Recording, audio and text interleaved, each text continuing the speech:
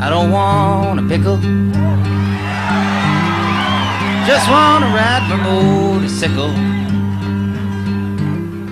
And I don't want a tickle. I'd rather ride my motorcycle. And I don't want to die.